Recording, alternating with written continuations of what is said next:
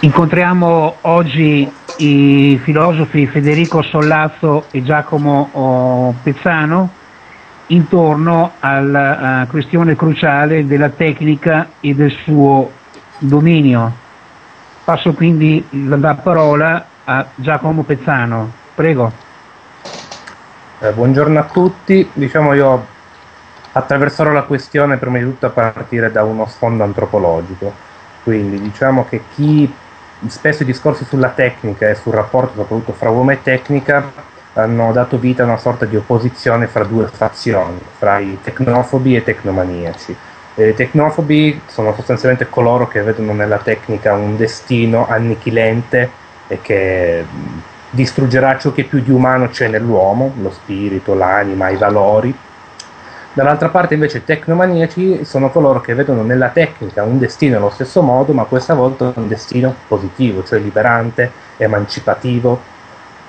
Eh, queste due prospettive hanno appunto questo sfondo comune, cioè guardano alla tecnica come se fosse qualcosa che si impone, quindi qualcosa che è destinato a imporsi e che o schiaccia l'uomo oppure libererà l'uomo.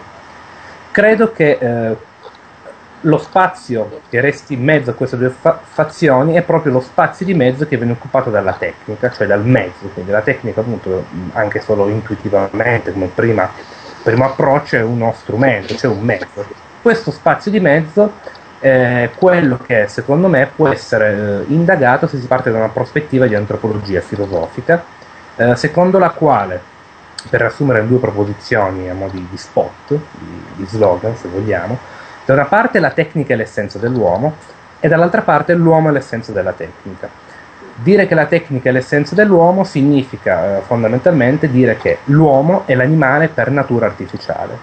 Eh, quindi l'uomo, che, mh, l'uomo è l'animale per natura tecnico, cioè che deve per natura trasformare la natura per vivere, sopravvivere e ben vivere.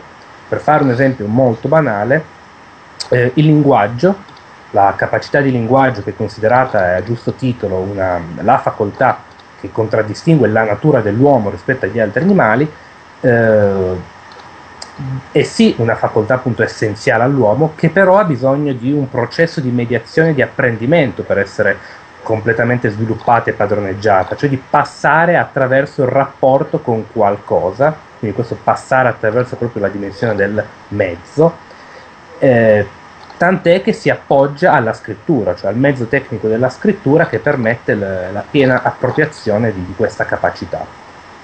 L'altra faccia della medaglia è che invece l'uomo è l'essenza della tecnica, il che vuol dire che chi pensa che la tecnica si autonomizza, diventa una mega macchina che procede da sé, dimentica cosa? Dimentica che la tecnica realizza, esprime dei bisogni, delle esigenze, delle tendenze umane. Cioè la tecnica è prima di tutto eh, frutto dell'espressività umana, ecco. Quindi chi pensa che la tecnica ah, annulli lo spazio della responsabilità perché o lo schiaccia oppure lo rende inutile perché fa tutto da sé, dimentica proprio queste, diciamo, queste due facce della stessa medaglia che sono questo profonda rapporto diciamo, di corrispondenza fra uomo e tecnica. Questo direi come, come spunto per la discussione iniziale. Ecco. Bene, e passiamo la parola a Federico Sollazzo. Grazie e buonasera innanzitutto. Dunque io come eh, direi che sono al tempo stesso in, in, parte d'accordo e in parte in disaccordo con quello che, che ha appena detto Giacomo, nel senso che sono d'accordo nel ritenere che la tecnica sia quel qualcosa di eh, costitutivo dell'essere umano, che non è quindi diciamo, un accessorio rispetto all'essere umano, ma fa parte della sua stessa struttura di base, quindi l'uomo non ha la possibilità di scegliere se essere tecnico o meno, lo è, punto, non, non può farci nulla. Eh, però penso che mh, rispetto ad esempio alla, al modo in, in cui eh, mi introduceva l'argomento Giacomo, cioè il, la distinzione che pure esiste, che pure esiste tra diciamo, i tecnofobi e gli amanti della tecnica, questa distinzione forse potrebbe essere resa non con un out-out, ma con un mm, tentativo conciliante, nel senso che la tecnica può essere l'una o l'altra cosa, a seconda non tanto dell'uso che noi ne facciamo, questa è una cosa diciamo inflazionata, ma a seconda della, della forma storica che di volta in volta essa assume. Ovvero, secondo me c'è una distinzione fatta a, suo tempo da Marcuse, un po' caduta nella dimenticanza, che invece sarebbe utile rispolverare, cioè quella tra tecnica e tecnologia, vedendo che la tecnica è la qualcosa, quindi essere in possesso delle competenze necessarie per fare qualcosa. La tecnologia invece è la forma storica della tecnica, cioè il modo in cui all'interno di un contesto storico, io direi anche geografico, ben determinato, questa capacità di fare le cose si manifesta. E ovviamente si manifesta in maniera diversa di contesto in contesto, perché, facendo un esempio molto semplice, se eh, la tecnica consiste ad esempio nelle, eh, nella, nella capacità di saper costruire una sedia, il processo di costruzione della sedia però varierà di contesto in contesto a seconda del, del contesto storico e geografico all'interno del quale avviene la produzione. E cos'è che rende attuabile un certo modo o un altro modo di produrre la sedia? Cioè cos'è che rende attuabile una certa tecnologia? Lo scopo che noi ci proponiamo nel compiere quell'operazione, perché se lo scopo è ad esempio quello di costruire sedie in serie su scala industriale per poi venderle, il processo produttivo sarà impostato in una certa maniera. Se lo scopo è quello di costruire una sorta di sedia che sia un'opera d'arte, il processo a questo punto creativo, direi, e non produttivo, seguirà un'altra strada. E allora questo mi sembra molto interessante perché a partire da questo noi possiamo vedere che quello forse su cui dovremmo ragionare non è solo la tecnica, ma la tecnologia, ovvero la forma storica che ha oggi la tecnica, e chiederci quindi qual è l'impatto sociale che ha oggi la tecnica, ovvero qual è la forma di tecnologia all'interno della quale noi oggi ci troviamo. E ovviamente adesso procediamo per schematizzazioni, ma anche da questo penso che possano derivare delle conseguenze interessanti nel notare che la struttura fondamentale all'interno della quale ci troviamo oggi, che pertanto è a mio parere eh, una eh, struttura ideologica, non è quella, come abitualmente si dice, legata all'economia, alla, all'iperproduttività, alla eh, commerciabilità e commercializzazione dei prodotti, riduzione della vita a prodotto commerciale e così via. Ma al cuore di, de, della ideologia contemporanea c'è un discorso di tipo tecnologico, che poi oggi è declinato nella veste dell'economia, ma non per questo l'economia ne costituisce il cuore, la tecnologia ne costituisce il cuore. E in cosa consiste questo tipo di tecnologia, questo tipo quindi di mentalità che noi abbiamo oggi? Nel eh, muoversi attraverso le categorie dell'efficienza, della strumentalità, della calcolabilità. Categorie che poi oggi sono declinate in chiave economica, ma che possono anche non esserlo. Questo mi sembra che sia interessante da notare Innanzitutto perché dà conto del fatto che non è vero che viviamo in un'epoca post-ideologica, ma siamo tuttora inseriti all'interno di un certo tipo di ideologia che a mio parere non è di tipo economico ma di tipo tecnologico. E poi perché apre ad un altro discorso eh, enorme che è quello della metafisica occidentale, perché a questo punto la domanda è come mai oggi abbiamo sviluppato questo tipo di tecnologia? Che è fondamentalmente una tecnologia, per dirla alla Heidegger o, o secondo il linguaggio dei primi francofortesi, una tecnologia di dominio. Come mai abbiamo sviluppato quindi questa tecnologia, che è una tecnologia di dominio? Questo ha a che fare con l'enorme questione della metafisica occidentale e in, in particolare il modo di intendere il tempo all'interno della metafisica occidentale, intendendolo in maniera in maniera progressiva e produttiva, cioè qualcosa che va in una certa direzione, quella direzione è la produzione di qualcosa, la produzione a sua, a sua volta rimanda alla calcolabilità, all'efficienza e così via. E questo apre la strada poi alla situazione nella quale noi ci troviamo oggi, che è collegata poi anche ad un altro discorso che io trovo in un autore abitualmente un po' sottoconsiderato in, in ambito filosofico, che è Pasolini, e che ci ricorda come gli educatori principali che noi abbiamo siano gli oggetti, perché un oggetto non è semplicemente un qualcosa che noi possiamo utilizzare a nostro piacimento, ma l'oggetto ci chiede di essere utilizzato in una certa maniera. E allora se ci chiede di essere utilizzato in una certa maniera, fermo restando il fatto che io posso utilizzarlo anche in un'altra maniera e tuttavia rimane il fatto che lui mi chiede di essere utilizzato in una certa maniera, allora questo vuol dire che è anche depositario di un certo tipo di, di razionalità che mi comunica quando entro in contatto con lui.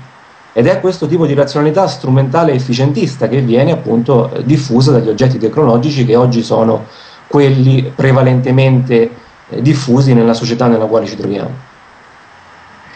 Allora si tratterebbe di, eh, di precisare eh, questa eh, questione della, della metafisica. No? In Heidegger è, la tecnica sarebbe il compimento no? di questa metafisica. Mm, la questione mi pare eh, scivolare via rispetto a quella eh, che è stata sottolineata da Giacomo, ovvero quella della responsabilità. Ma faccio gli esempi concreti. Allora, per un verso una, un dettaglio storico, no? I forni del pane sono fatti per fare il pane, eppure è stata la trasformazione di forni per il pane a fare i forni crematori nei campi di sterminio. E poi questa questione connessa a Heidegger, che ha lasciato testimonianza non in vita perché è in quella intervista a Der Spiegel no, che è stata poi diffusa dopo la, la sua morte su sua volontà dove non essendo praticamente mai intervenuto, citatemi i testi nel caso e li vado anche a leggere, sulla questione della responsabilità rispetto ai campi di sterminio e del nazismo, è la responsabilità del, che l'Occidente sia uh, finito a, ad Auschwitz è data alla tecnica. Allora, per questo aspetto il, eh, è interessante quello che dici Federico perché eh, questa razionalità non, cioè, viva distinta tra eh, la razionalità che porta a questo compimento della tecnica nella, nell'industrializzazione del massacro, che non è esente in aspetti della società oggi, no? in modo di, insomma, di, eh, di togliere questa, eh, eh, questa, delega che è fatta alla tecnica. No? Cioè io avverto anche in questa elaborazione che c'è ancora una deresponsabilizzazione rispetto al fatto che sembra quasi per riprendere ancora una delle immagini di Giacomo, che questa tecnica sembra una, una mega macchina autonoma, no? Sembra una macchina impazzita di cui nessuno sappia più co- che cosa fare rispetto al destino del pianeta, quando invece, ecco perché ho fatto l'esempio dei forni del pane, ma i forni del pane hanno un marchio, c'erano delle persone, sono state contattate per fare questa trasformazione, si sapeva cosa serviva, mi spiego? Il chimico Panvitz sapeva che eh, quando faceva l'esame a Primo Levi avrebbe deciso se sarebbe morto il mese dopo o, o, o, se fosse andato avanti per qualche mese ancora con la scusa che era all'interno di un capannone eh, nel campo di concentrazione. È attorno a questa questione della responsabilità che vi pongo un ulteriore intervento, cioè e dove sta la responsabilità? Qual è lo statuto della responsabilità rispetto a questa questione del uh, presunto e in parte vero dominio della tecnica, ma appunto perché c'è l'uomo dietro questa tecnica? E ripasso la parola a Giacomo allora. Sì, abbiamo diciamo un 4-5 minuti per ciascuno. Prego sarò brevissimo, anche se in fondo è stato più chiamato direttamente in causa Federico, quindi eh, sul rispetto magari a, a, Heidegger risponderà direttamente lui. Eh, mi limito a dire che non penso che quello che ho detto in partenza sia in contrapposizione prima di tutto con quello che ha detto Federico, perché proprio questa sottolineatura della relazione che c'è fra uomo e tecnica secondo me vuol dire aprire la possibilità di distinguere fra tecnica e tecnologia cioè proprio perché la tecnologia è espressione di un rapporto storico, o meglio il rapporto poi è sempre storia, proprio le, la storia è la messa, la, il dispiegamento dei rapporti tra gli uomini, tra gli uomini e il mondo, quindi anche tra gli uomini e le cose, tra gli uomini e la tecnica. Eh, per quanto riguarda la, la, responsabilità, vorrei dire una cosa preliminare, che secondo me eh, proprio questa messa tra parentesi dell'aspetto eh, di relazione tra uomo e tecnica, cioè proprio questo separare tecnica da una parte come mega macchina, oppure nel dire che l'uomo è separato dall'altra parte perché avrebbe, eh, non sarebbe irriducibile a tutto ciò che è tecnica, eh, fa sì che la responsabilità venga meno. Cioè, secondo me la responsabilità è qualcosa di connaturato all'uomo proprio nello stesso senso in cui la tecnica è connaturata all'uomo. Provo a spiegarmi in breve. Cioè il fatto che l'uomo debba creare dei mezzi per vivere eh, fa sì che debba rispondere attivamente alle sollecitazioni dell'ambiente e del mondo. È proprio in questo tratto originario che sta la responsabilità, proprio intesa come capacità di rispondere a. Eh, e nel momento in cui appunto si pensa che eh, tutto ciò con cui l'uomo entra in relazione sia separato dall'uomo stesso, che non esprima dei bisogni, delle esigenze umane, è proprio lì che la responsabilità viene meno. Quindi in questo senso è vero che eh, uno strumento tecnico, come nell'esempio drammatico che ha fatto Giancarlo, il forno per il pane che diventa forno crematorio, eh, perché? Perché in qualche modo ciò che tutti coloro che hanno fatto sì che questo sia stato possibile hanno negato quello che doveva essere il loro rapporto con lo strumento che gli veniva posto. Cioè io credo che in questo senso il, la negazione della responsabilità sia proprio un sottrarsi a questa relazione, come dire questa relazione non mi compete. E potremmo anche fare l'esempio dell'ingegneria genetica, delle nuove tecnologie eh, esatto, sì. tutti i problemi bioetici, cioè uno rifiuta in qualche modo il rapporto, cioè rifiuta l'istanza che viene posta e proprio in questo rifiuto la responsabilità è già sottratta, cioè lo spazio in cui si potrebbe decidere per il bene o per il male è già sottratto perché si rifiuta la relazione, si dice ah la tecnica va da sé, risolverà il problema eh, oppure ci distruggerà, però va da sé.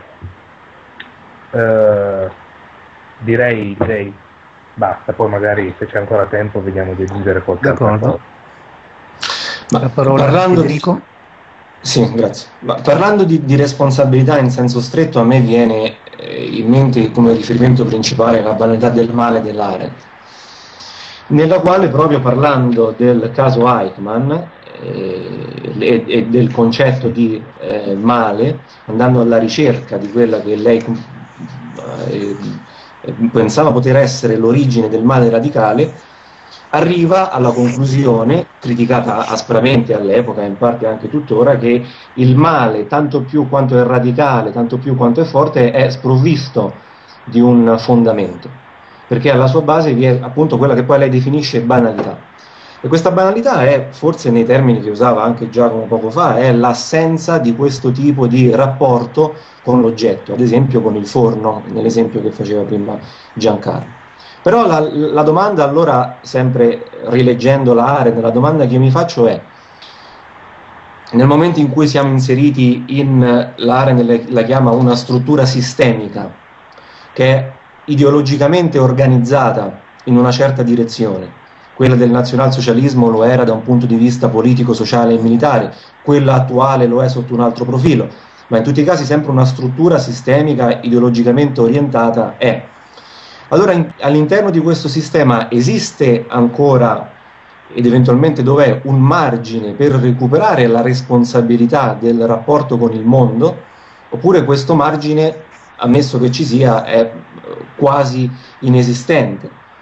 Nel senso che per recuperare il, il, rapporto con il mondo io ho, ho, necessariamente bisogno di recuperare inizialmente il, il rapporto con gli altri che costituiscono il mondo. Ma se gli altri mi appaiono come degli oggetti, e oggigiorno in particolare come degli oggetti tecnologici, che è una cosa diversa rispetto agli oggetti pre-tecnologici, allora di fronte a me non ho più delle persone rispetto alle quali esercitare un rapporto, una responsabilità e così via, ma ho degli oggetti compren- comprensibili attraverso le categorie de- dell'efficacia, della calcolabilità, della strumentalità e così via. tant'è che Eichmann, eh, si diceva anche in un mm, precedente intervento con Giancarlo, Eichmann all'interno del campo di concentramento agiva con una mentalità da manager. Per lui la soluzione finale era uno scopo manageriale, oggi diremmo da raggiungere, i militari del Terzo Reich erano il personale a sua disposizione per raggiungere l'obiettivo manageriale eh, in questione. questo è qui, qui c'è la deresponsabilizzazione, ma laddove siamo inseriti in una struttura sistemica che ci priva del rapporto con gli altri, facendoci intendere oggi con le stesse categorie degli oggetti tecnologici, allora la, la deresponsabilizzazione è quasi inevitabile, perché già a priori siamo inseriti all'interno di questo contesto. Possono esistere poi, e a volte esistono, personalità eccezionali, chiamiamole così, che pur trovandosi all'interno di un contesto sistemico ideologico riescono a non ragionare in questi termini, ma sono le eccezioni che confermano la regola. Sì, c'è una questione che enuncio solo perché appunto il tempo è quello che è. Per riprendere rispetto a Heidegger che ha formulato diciamo, la questione del dominio della tecnica, c'è eh, questo aspetto che riprendo da, dall'intervento di Federico, la, razionalità a cui accennavi prima, no? Il, mi pare che ci sia nella razionalità eh, occidentale il, eh, la questione stessa della deresponsabilizzazione ed è curioso come, in che senso. Ho accennato prima alla non assunzione della responsabilità rispetto all'ingaggio col nazismo oh, di Heidegger e, e, e, che tra l'altro accenno, che non se ne parla uh, spesso, che eh, il, fu invitato nel 1936 con il viaggio di Hitler a Roma e tenne due interviste. Una era proibito l'accesso agli ebrei eh, a Roma. Il testo di questa intervista io non so neanche dove trovarla nelle opere complete, eh, nelle Gesammente Werke. Ora, il, come altre piccole cose che sono, che sono sparite. Ebbene, è curioso, dico, come la deresponsabilizzazione di Heidegger, pur atea pur con l'apostasia che c'è stata ai vent'anni, vada a braccetto con il cattolicesimo al quale non ha mai rinunciato, è un certo cattolicesimo teorico da, da, da analizzare, di Carl Schmitt. Cioè, entrambi, entrambi attribuiscono la responsabilità a un'entità eh, eh, al di là di loro ha un logos che, eh, che è lui la, la mega macchina quasi si direbbe e che toglie la responsabilità paradossalmente agli umani. Allora eh, l'invito è eh, in, in, quel che leggiamo, in quel che si scrive, in quel che scriveremo, di indagare questa questione. Su questa pista non ho trovato molti, eh, mi pare, l'ho citata entrambi, che ci sia Giorgio Agamben su questa via e poi su questa via c'era in un modo singolare eh, Jacob Taubes. Il, Smith, accenno appena Smith, Smith eh, ritiene semplicemente che siamo nel, nel leone di tempo che è venuto con Cristo e quindi la battaglia è tra uh, amici e nemici, la battaglia è con l'anticristo, sembra, oggi sembrerebbe un film hollywoodiano ma viene mantenuta questa lettura uh, teologica. E, e, questo è l'apporto di Taubes che, che, che, che invito a valutare, vorrei leggere altre cose attorno a questo, che insomma eh, Heidegger si sia messo come Nietzsche con i cannoni contro San Paolo e abbia eh, cercato di fondare una, una, chiesa laica, se si può dire con questo ossimoro. E quindi come questa questione della teologia politica, che c'è anche nel caso dell'ateismo, sia un po' questa cosa che come mentalità, oggi mentalità tecno-manageriale e su questa pista c'è questo giurista eh, psicanalista che è eh, Pierre Legendre, col quale non sono d'accordo ma va assolutamente letta la sua, la sua, la sua via.